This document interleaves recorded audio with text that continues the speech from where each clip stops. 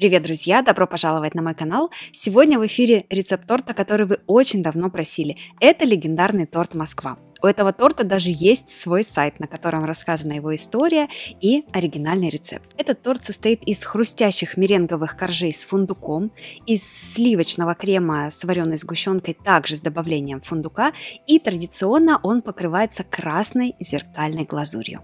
Ну давайте обо всем по порядку. Для начала приготовим коржи. Хочу вам напомнить, что для меренги чаша должна быть абсолютно сухой и чистой. Белки нужно очень осторожно отделить от желтков, чтобы в них не попало ни капли желтка и также не попало никакой лишней влаги.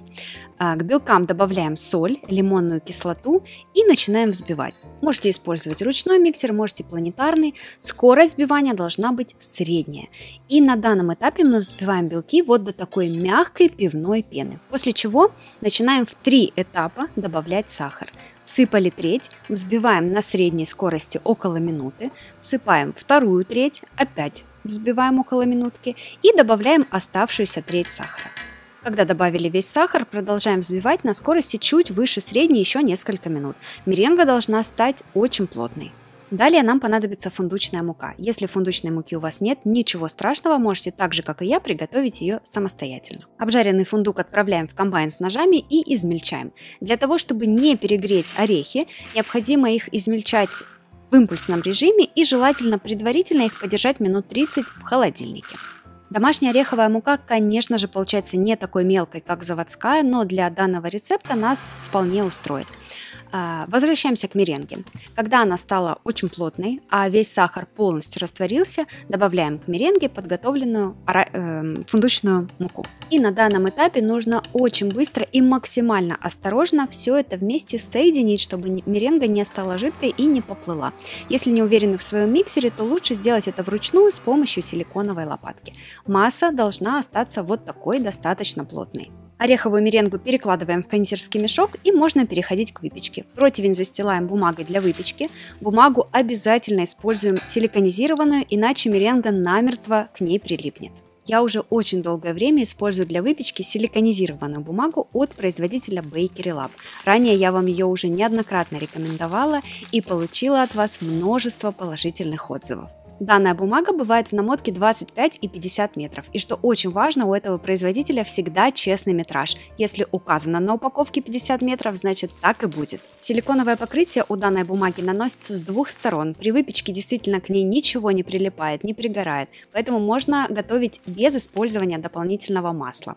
И что очень важно, для изготовления используется пищевой силикон, который имеет все необходимые сертификаты безопасности. А еще эта бумага достаточно прочная, поэтому ее можно использовать несколько раз. Это особенно удобно для выпечки многослойных тортов, например, медовика. Приобрести бумагу Bakery Lab по выгодной цене можно на Wildberries, ссылочку оставлю в описании под видео. Теперь можем переходить непосредственно к выпечке коржей. Для того, чтобы все коржи были примерно одного диаметра, я использую металлическое кольцо. Если у вас такого кольца нет, ничего страшного, можно прямо на бумаге нарисовать круги нужного диаметра и из кондитерского мешка отсаживать ореховую меренгу согласно трафарету. Следующий момент. Для приготовления торта нам необходимо 4 коржа. У меня всего 2 противня, поэтому я использую диаметр кольца 20 сантиметров, чтобы на один противень у меня э, помещалось 2 коржа. Это тесто нужно отпекать сразу же. Оно не будет стоять и ждать своей очереди, потому что меренга просто-напросто станет жидкой. Соответственно, рецептуру я даю на торт диаметром 20 сантиметров. Если у вас есть возможность отпекать коржи большего диаметра, можете просто рецептуру увеличивать. Отсаживаем коржи и сушим в духовке при температуре 100 градусов, режим вверх-низ, можно включить конвекцию, около 2 часов. Затем готовые коржи я оставляю в выключенной духовке до полного остывания. Готовые коржи должны получиться абсолютно сухими и хрустящими, и они очень легко отскакивают от силиконизированной бумаги. Коржи во время выпечки слегка растекаются, немножко увеличиваются в диаметре, а мне в итоге нужен идеально ровный торт. Поэтому я с помощью кольца и ножа вот так вот их подравниваю. И в итоге у меня получается 4 идеально ровных круглых коржа для торта. Теперь переходим к крему. Все продукты используем комнатной температуры. И для начала очень хорошо взбиваем мягкое сливочное масло, примерно 4-5 минут на максимальной скорости. Масло должно хорошо посветлеть и увеличиться в объеме. Затем хорошенько прорабатываем вареную сгущенку. Она также должна быть комнатной температуры. Взбиваем ее, чтобы она стала абсолютно гладкой, без комочков. Теперь небольшими порциями, буквально по 2-3 столовые ложки, добавляем сгущенку ко взбитому сливочному маслу и продолжаем взбивать. Одна порция разошлась, добавляем следующую. И в итоге у нас должен получиться вот такой достаточно плотный воздушный крем. Всыпаем э, фундучную муку, вливаем коньяк и взбиваем на максимальной скорости еще примерно одну минуту. Крем готов.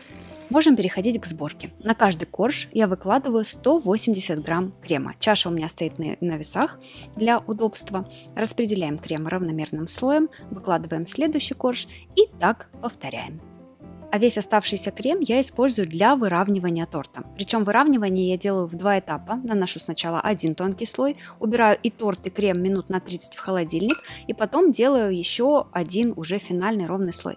Торт нам нужен с максимально ровным покрытием, потому что в дальнейшем мы его будем покрывать зеркальной глазурью. Собранный торт убираем в холодильник минимум на 12 часов. Теперь приготовим зеркальную глазурь. Для нее нам понадобится глюкозный сироп. У меня глюкозный сироп внезапно закончился, э, не хватило мне его по рецепту, поэтому недостающую часть я заменила на мед с нейтральным ароматом. Далее добавляю сахар, воду и отправляю сироп вариться на среднем огне до температуры 105 градусов. Далее, в стакан для блендера отправляем сгущенное молоко, заранее замоченный желатин, я использую листовой, поэтому хорошенечко его отжимаю от лишней влаги, белый шоколад и готовый сироп, сваренный до температуры 105 градусов. И всю эту массу необходимо пробить погружным блендером до однородности. В зеркальную глазурь очень важно не напускать пузырей, поэтому блендер вводим под углом, немножечко им трясем, чтобы весь лишний воздух поднялся, и на минимальной скорости пробиваем. Больше блендер на поверхность мы не поднимаем, то есть вводим им только по дну. Зеркальную глазурь можно по желанию окрасить в любой цвет с помощью гелевых водорастворимых красителей. Обычно зеркальной глазурью мы покрываем замороженные изделия, поэтому рабочая температура составляет 32 градуса. Но, так как, вот, кстати, обратите внимание, на поверхности нет ни одного пузырика. Но, так как э, я буду покрывать не замороженный торт, он просто у меня провел в холодильнике ночь, причем, когда он постоял и масло хорошо подзастыло, я его осторожненько накрыла пищевой пленкой. Теперь я э, отделяю торт от подложки, перекладываю его на решетку для глазирования. И, кстати, глазурь я Окрасила в два цвета. Основную массу глазури в красный цвет и совсем немного глазури в белый цвет и буду делать такой интересный мраморный эффект. Хоть торт и не замороженный, но в холодильнике он очень хорошо застывает, и его спокойно можно держать в руках. Теперь по поводу температуры. Так как торт не замороженный, рабочая температура глазури должна быть ниже, чем обычно. Э, я использую температуру примерно 28 градусов. Традиционный декор торта Москва – это красная зеркальная глазурь и сверху на глазури из белого шоколада надпись «Москва» и такие завитушки по краю. Но мне захотелось соригинальничать, поэтому я залила торт красной глазурью, оставила немножечко, затем налила несколько пятен белой глазури, центр еще немного красной и раздула все это дело. Идеально для этих целей подходит либо краскопульт, либо аэрограф, но они у меня находятся сейчас на другой кухне, поэтому я использовала самый обычный фен. Самое главное, температура не должна быть высокой и слишком долго не дуйте, чтобы не сдуть всю глазурь с поверхности торта. И получается такой вот интересный мраморный эффект. Как вам результат? Обязательно напишите в комментариях. Мне очень нравится, что такой декор, он уникальный. Повторить один в один его просто невозможно. Кстати, если на поверхности глазури вы заметили крупные пузыри, их очень просто убрать с помощью обычной газовой горелки. Когда глазурь немножко подсхватилась на торте и перестала капать, убираем излишки с помощью палетки и с помощью двух палеток осторожненько переносим торт на подложку. Нижний край обязательно чем-нибудь декорируем. Это могут быть орехи, шоколад, э, воздушный рис и какая же Москва без золота. Я добавила несколько кусочков пищевого золота. Все лишнее можно вот так осторожненько отстучать с подложки. И торт Москва во всей красе. Вот такой получается у него разрез. Кстати, коржи из орехового безе остаются в торте хрустящими. Тортик, конечно, получается достаточно сладким, но очень понравится любителям классических тортов, таких как полет, графские развалины, поэтому обязательно пробуйте. Но я, как всегда, желаю вам удачи на кухне, не бойтесь экспериментировать. Скоро увидимся!